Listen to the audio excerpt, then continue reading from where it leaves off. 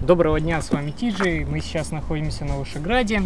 Такой вот у нас будет необычный unbox, э, потому что издание сегодня у нас простоватенькое. И распакуем мы сегодня коллекционное издание а, Ила-2 штурмовика, э, именно Collector's Edition и от Ubisoft. Но, к сожалению, это у нас будет чешская локализация. Поэтому, скорее всего, там все внутри на чешский переведено.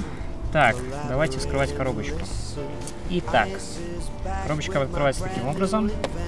То есть э, пленку можно не снимать, хотя картон очень э, качественный и очень плотный. С ним ничего не случится, хоть он 10 лет стоять.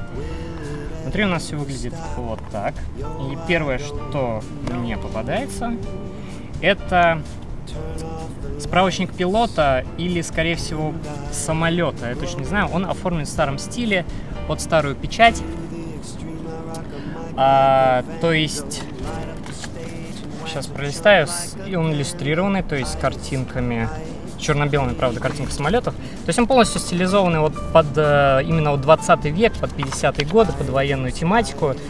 А, Все напечатано на печатной машинке еще тех лет э, в виде конспекта такого старинного советского тоже с картиночками. Конечно, он на английском языке, но разбираться в этом довольно тяжело. Поэтому я не знаю, кто это все будет читать, но выглядит для атмосферности это, конечно, очень здорово сделано. Так, двигаемся дальше. Дальше нам попадается пилотный мануал, естественно. Как я так и знал, что он тоже на чешском языке, к сожалению. А, но это такой стилизованный блокнот, весь черный. И здесь очень-очень-очень много информации. Я даже не знаю, она тоже вся на чешском, не хочется все это читать. Но опять же, это по управлению самолетом, э, все в деталях просто капец, все очень детализировано. Так, даже показывать не буду, ну, просто об, обыкновенный текст, который вряд ли, опять же, кто-то будет так уж сильно изучать, кто поклонник, скорее всего, да? Значки Ubisoft 1С. Далее двигаемся.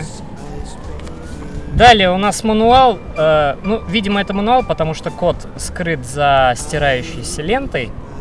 Э, но тут написано, что это такой же пилотный мануал, только укороченная версия. И опять же, куча, куча, куча, куча текста. Итак, маленький, короткий на 16 страниц.